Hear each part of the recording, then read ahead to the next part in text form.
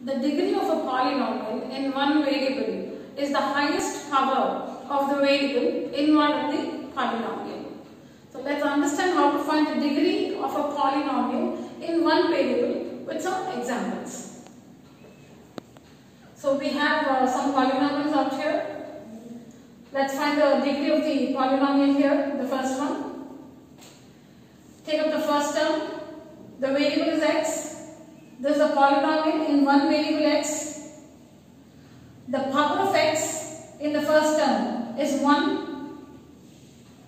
You can maybe say x power 0 here. The power of x in the second term is 0. What is the highest power? Which is the bigger of 1 and 0?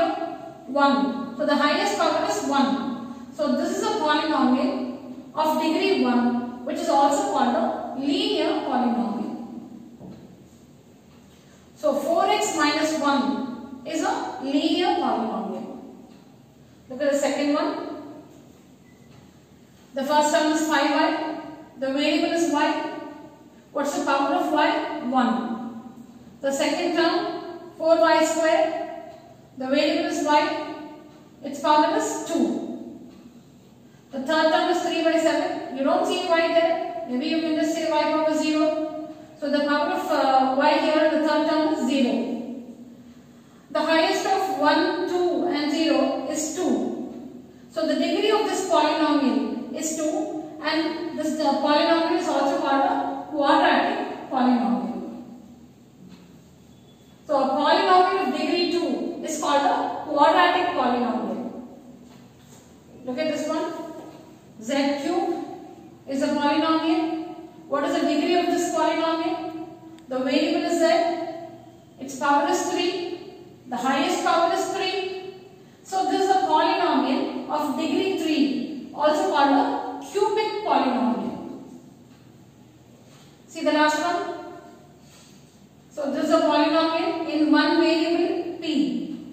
What's the degree of this polynomial? Take up the first term. The variable is p. What's the power of P? 2. Take up the second term. The variable is P. What's the power of P? In the second term, 1. And what's the power of P in the last term? 4. Which is the highest of 2, 1 and 4? 4. So this is a polynomial of degree 4 also called a biquadratic polynomial. A polynomial of degree 4 which is also called a biquadratic polynomial. To, to, so to sum up, a polynomial of degree 1 is called a linear polynomial. A polynomial of degree 2 is called a quadratic polynomial. A polynomial of degree 3 is called a cubic polynomial. A polynomial